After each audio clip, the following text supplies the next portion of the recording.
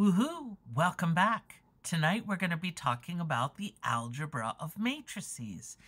And this is a nice break if you've been working through a lot of work with systems of equations and matrices to solve the systems of equations. This is an opportunity to look at matrices outside of that setting and address them as if they were just numbers, a bigger, new kind of number that we're going to do algebra with instead. And so we're going to go ahead and build up a system for these matrices. The first step is going to figure out when are two matrices equal? What, what does a matrix mean and when is it equal to another matrix?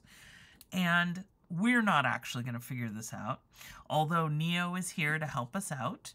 And um, we're going to study what other people have pulled together that makes sense of how to look at, at matrices as numbers.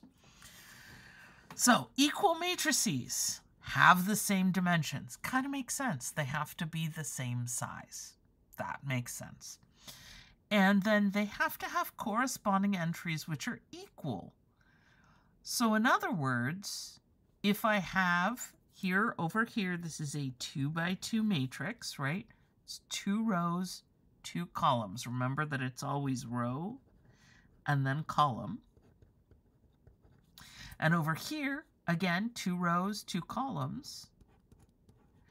If I've got two matrices that are the same size, then each individual entry, like A, has to match its corresponding buddy over here, 5. So in other words, A has to equal 5, B has to equal 4, C has to equal negative 2, and D has to equal 3. So in some ways, it's very simple. And hopefully once, once you looked at that, you're like, oh, that makes sense. If the numbers inside are the same and the size is the same, then we can consider the matrices to be the same. Or, well, not the same, but equal, I should say. Okay, next up. Now that we've established what the numbers are and how, you know, how they behave, let's talk about how to perform operations. Now, this is going to be a new way of describing a matrix. Frequently, matrices are given capital letter names because they're big. They've got multiple numbers usually inside of them. And then to represent this matrix, we can do a little tiny matrix and it says AIJ. And then capital B is Bij, and these represent the entries inside. And they're going to be matrices of the same dimension, so they have to be the same size, and C can be any real number. Okay, so we're establishing what we're talking about. Let's go ahead and go through the three types of addition we're going to work with right now. The three types, sorry, the three types of addition, no, the three types of operations. There we go. Addition. The sum, A plus B, is the m by n matrix obtained by adding corresponding entries. So remember when we said the corresponding entries had to be equal? If we're going to add, we'll add entry by entry that way. Subtraction, same thing. We're going to subtract each corresponding number. We'll do an example so you can see. And the multiplication, we're going to break up into two different possibilities. The first one we're going to talk about is called a scalar product. Now, here's where we actually start distinguishing between, remember up here it said C was a real number? Scalar multi uh, multiplication means we're multiplying a matrix by a single number, not by another matrix. Multiplying matrices is going to be the next video because that actually takes a little bit of setup. But multiplying by just a single value c, a real number, you just multiply each entry. Okay, so let's take a look at what that means. So I've, I've put together a bunch of different pieces, we've got A, which is a 1, 2, 3 by 2 matrix. B, which is a 1, 2, 3 by 2 matrix. C is a 1, 2 by 1, 2, 3. So kind of the opposite size. And D is 1, oh, sorry, 1, 2 by 3 again. Okay? So let's see what we can do. So A will ask us what is A plus B? And what we're supposed to do is carry out the operation or explain why it cannot be performed. So A, A plus B. So that's going to be 2, negative 3, 0, 5, 7, 1 half, plus 1, 0, negative 3, 1, 2, 2. This is 3 by 2. This is 3 by 2. They are like terms in that way. Same dimension. So we can add them. And what we're going to do, and hopefully I give myself enough room, is we're going to add the corresponding entries. So we're going to add 2 plus 1. Over here, we're going to add negative 3 plus 0. Down here, row 2, column 1, 0 plus negative 3. 5 plus 1. 7 plus 2 and 1 half plus 2. So we're going to get, let's see, 3, negative 3, negative 3, 6, 9, and then 2 and a half down here. So I'm going to write as 5 halves. You could write 2.5 if you prefer. Okay, so that's how you add. You add each entry that's in the same spot in the corresponding matrices. Okay. Next up, let's look at C minus D. Okay, so C is 7, negative 3, 0, 0, 1, 5. And I'm going to subtract 6, 0, 6, 0, negative 6, 8, 1, 9. Let's see, this is a 2 by 3 and a 2 by 3. They have the same dimension. Can't quite see that. So let me scooch that up a little bit. Same dimension, so we're good. And to subtract, I'm going to subtract each entry. So 7 minus 6, negative 3 minus 0, 0 minus a negative 6.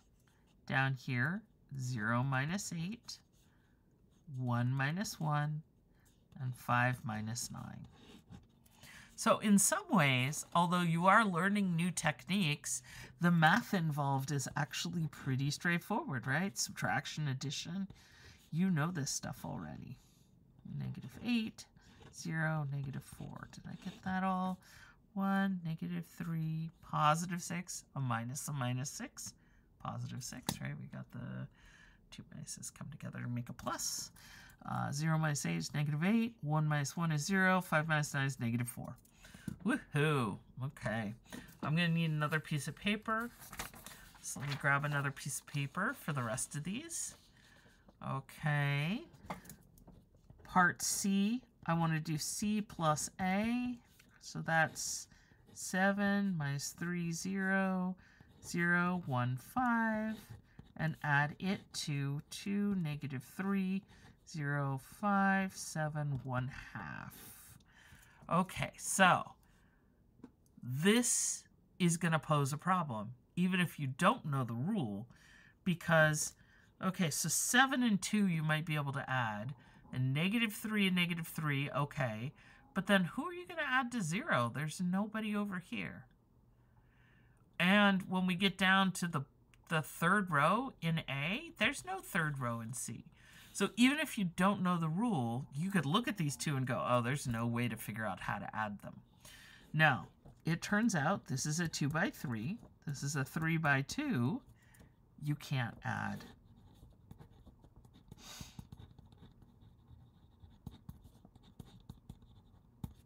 They have different dimensions, so you can't add. In order to add or subtract two matrices, you have to have exactly the same dimension. Cool, cool. Okay. And then there's one more thing that we're going to do. We're going to do scalar multiplication, 5a. So I'll scooch this up a little bit. So that is one heck of an ugly 5, isn't it? So in other words, 5 times the matrix that looks like this. And it's really nice because you just multiply everybody by 5.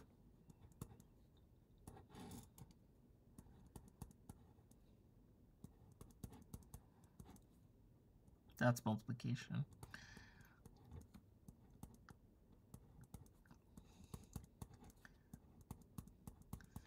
Sorry, it turns out I go really quiet when I'm trying to multiply. I guess multiplying is, is hard. So, 5 times 2, 5 times negative 3, 5 times 0, 5 times 5, 5 times 7, 5 times 1 half. And so altogether I get 10, negative 15, 0, 25, 35, and 5 times 1 half is 5 halves. Um, or 2.5 if you prefer. So scalar multiplication, you just multi, it's kind of, here I'm going to go out on a limb and say you should not say this in front of other math teachers, but what the heck? Who's really watching this video anyway? I don't know. Um, it's kind of like the distributive property, right? You give everybody a 5. So that's how you do addition and scalar multiplication, which is pretty cool. Woohoo! Yay! Okay, so there's one other thing I want to talk about. This is going to be very formal, but in fact, the rules are, well, the rules are there to keep you safe. And the nice thing is, is most of the rules are going to, to be the same as what you know. In this video, everything you already know is what you already know.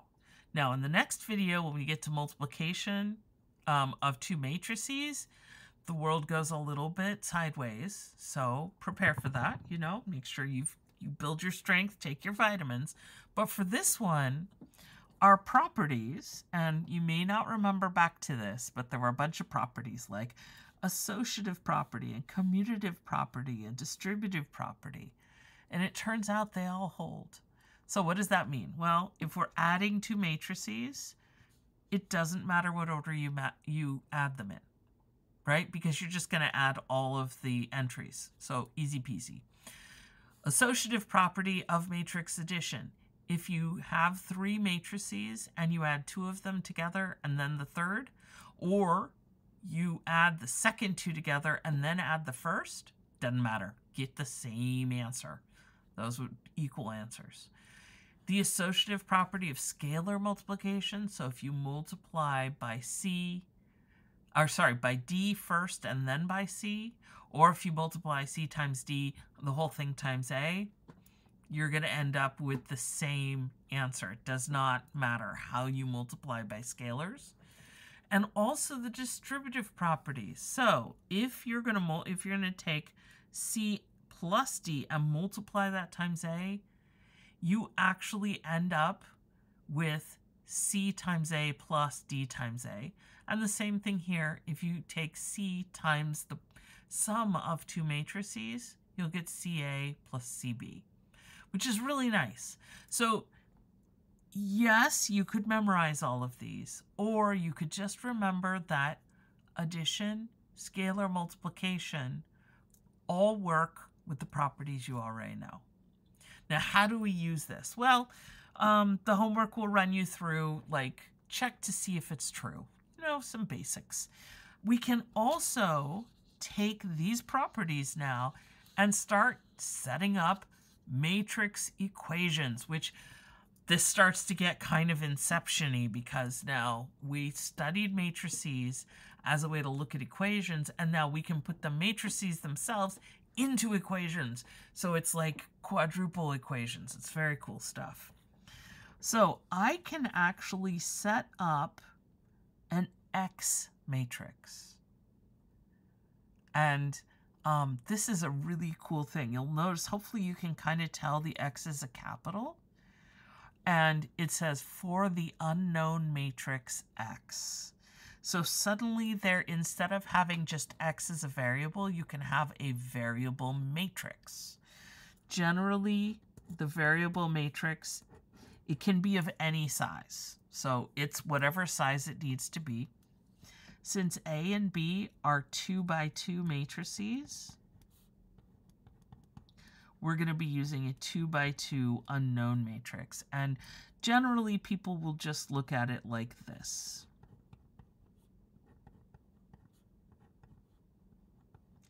So there will be unknown values. So this matrix is actually a matrix of four unknown values. So we're going to be solving for them. Now, in general, in general, when you're solving matrix equations, I do not encourage you to plug the matrices into this equation. What I would actually recommend, as you can say in the hint, solve the equation first and then substitute a and b in. It's going to be so much easier. So, what does that mean? Well, so see how I'm very careful to write a great big X so that I'm clear these are matrices. So first thing, am I allowed to add A to both sides? I am absolutely allowed to add A to both sides. Does it matter whether I add on the left or the right? And the answer is no, it does not. So I get 2x equals a plus b. Now, what do we have to check? We do have to check, is this possible? Because if it's not, then we're stuck. A is a 2 by 2. B is a 2 by 2. They're the same dimensions.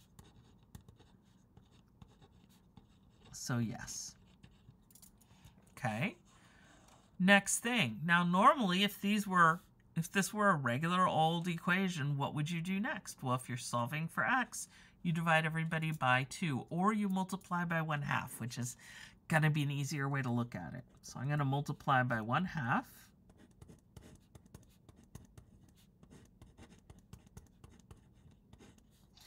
This is going to leave us with the unknown matrix.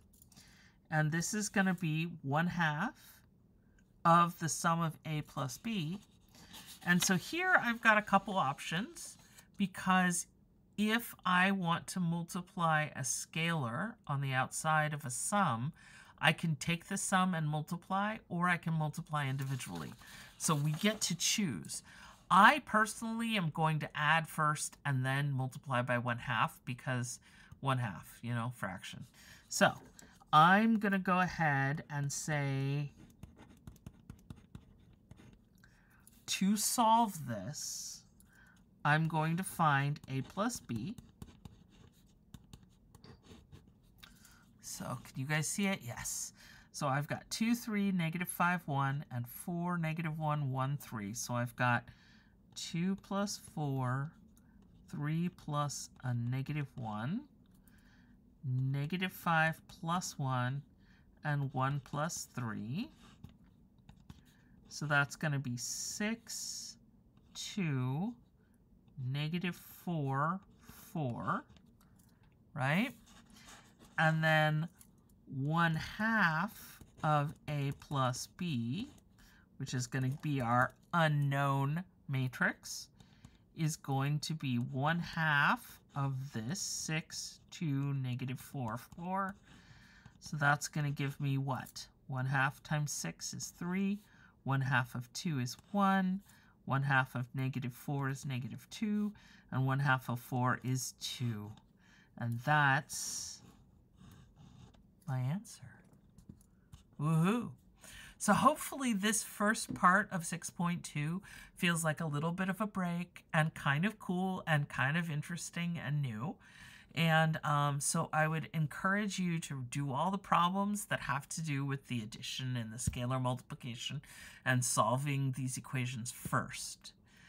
And then when you're ready, go on to the second part of 6.2 because that part really is going to be a little bit different. multiplying matrices together is a brand new concept and it does take a little bit to get used to what's going on. You kind of have to turn your head sideways to do it. So, but you have finished another video, so that makes you incredibly awesome. Neo thinks so. I think so. You're amazing and incredible. And go take a break and pat yourself on the back and congratulate your brain on being so very smart. And then when you're ready, come back and see the next video. Woohoo! Math on.